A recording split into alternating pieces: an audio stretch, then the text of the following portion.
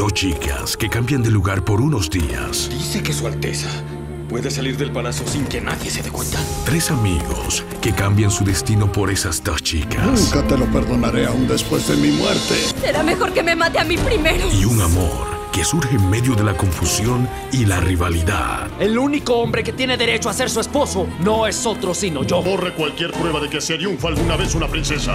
Envidia, honor, poder y en medio un gran amor. Aún si me quitaré este anillo, nadie borrará de mi corazón al profesor. El hombre de la princesa, una majestuosa producción que no te dejará moverte de tu asiento. De lunes a viernes a las 9 de la noche por Ser TV, líder en series coreanas.